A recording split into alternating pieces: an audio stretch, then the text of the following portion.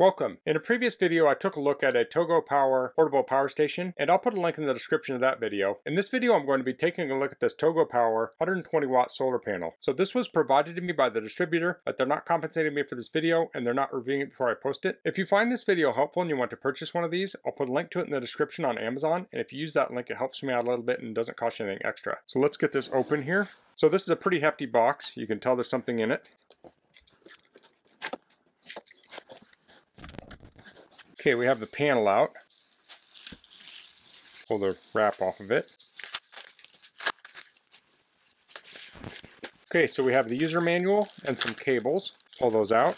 So let's check out the owner's manual. This says how it works. We have the sun here. We have the solar panel. You can plug this into a portable power station, a power bank, a cell phone, a flashlight, tablet. Comes with a user manual. Has a USB-A and a USB-C port. It has a DC 7909 cable, and that's attached to the solar panel. Then it has a DC 7909 to DC 5521, DC 5525 Anderson XT60 cable. So this is a multi-headed cable. And that's on the 120 watt model. So here are the specs. Peak power is 120 watts. DC output is 18 volts, 6.67 amps max. USB-A is 5 volts at 3 amps, 9 volts at 2.5 amps, or 12 volts at 2 amps. USB Type-C is 5 volts at 3 amps, 9 volts at 3 amps, 12 volts at 3 amps, 15 volts at 3 amps. The cell type is monocrystalline, and it has 4 panels. Dimensions unfolded are 1615 by 520 by 25 millimeters. Dimensions folded are 520 by 380 by 50 millimeters. Weight is 9.4 pounds, or 4.26 kilograms, excluding accessories. Here we have the cautions. It says do not immerse in water, avoid extreme temperatures. Do not destroy in any way. Do not disassemble. Here's some tips. It says make sure the connecting cables match the solar panel and charging equipment. In theory, the solar panel can charge all kinds of batteries. It depends on the charging circuit of the batteries. Please make sure the charging voltage of the solar panel matches the input voltage of your batteries. Note that the red part of the Anderson plug is positive and the black part is negative. Please connect positive to positive, negative to negative to ensure using correctly. This here says the output of the solar panel is related to the intensity and angle of the sunlight. Solar panel from a 90 degree angle with the sun has the best charging efficiency efficiency. To ensure your user experience, please use solar panel in a place with sufficient sunlight. So if it's overcast out, there's not really a solar panel that's going to give you a great charge unless you have a massive array. So you do want to set this up for the best success. So here they show the sun here, the rays are at 90 degrees to the solar panel. So here it's showing partly cloudy. It still works, but not great. And then it's overcast and it's bad. So here are different warnings here. You can read through those. Here's some frequently asked questions. It says, is the solar panel waterproof? It says both sides are protected well from splashing water. It says the connectors which are on the bag are not waterproof do not immerse in water, and we don't recommend using the solar panel in the rain and moist environments. So if you have this out and it does get rained on, it's not necessarily going to destroy it, but they don't recommend that, so it's best to try to avoid that situation. Here it says, is it chainable with other solar panels? It says yes, you can chain it with solar panels that have the nominal output voltage in parallel. You should note that the superimposed current cannot exceed the current that the connecting cables and plugs can bear, and the warranty does not cover any property loss caused by misoperation when chaining solar panels. This talks about the USB controller box. This talks about charging in cloudy or shady conditions. This talks about charging a power station. Okay, so here's the cable here, as you can see. Take a look at this here.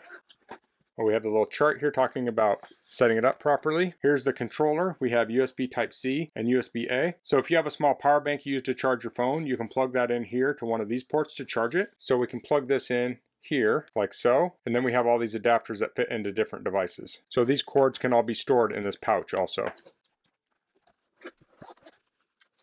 So this is a leg here that can be folded up. So I'll pull it open. It has Velcro on it and it has a strap. So this can go against the ground. So this part and this part up in the air will go against the ground. So let's open this up the best we can here on my bench. So it says press here. Okay, so it has these adjustable straps. And we'll see how much of this we can unfold. Probably not much. So here we have another one of those kickstands. So there's one here and here. So it looks like we have two kickstands on here and there's four panels. So if I open this up, there'll be another panel. So here's the panel. This has an ETFE coating on it. So that's a type of Teflon type material to help keep these clean. And this also has grommets on here so you could hang it. So I'll take this outside and I'll connect it up to my power station and we'll test it out. Okay, so this is currently at 100% charge. So I need to drain it down before I can solar charge it. So what I have here is my charger for my lawnmower battery. This is a seven and a half amp hour, 56 volt battery. So I'm going to plug that in to the inverter here. I'll turn on the inverter, I'll place the battery in, and now we can charge this. And this takes 210 watts, I think. Yes, that would be the max rating on that. So I'll charge up this battery. We'll see how much percentage is left here. And then we'll do some solar charging on it and see how much it brings the battery up. And it's kind of hard to see here. It's drawing about 233 watts from this battery.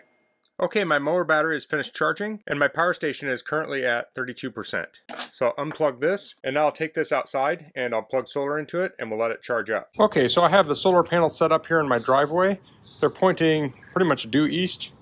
I have the power station here, it's plugged into it. So a little tip, you can take a small cylinder, I have a spray paint can here, and I'll put it on the panel and I want to make it so there's less shadow. So what I did is I angled these up just a little bit and you can see there's very little shadow around this. So that means it's at the optimum angle. So right now I was just shading it a little bit. So let's let this go up and we're charging it just around 80 watts. So I'll probably check on this throughout the day and rotate the panels so they're facing towards the sun as the sun moves. Okay, so the sun has shifted. So I've been rotating this over the past few hours, but it's in the shade now and it's currently charging at about 16 watts. So it is charging a little bit, but we can get much better charging if I just move it over here.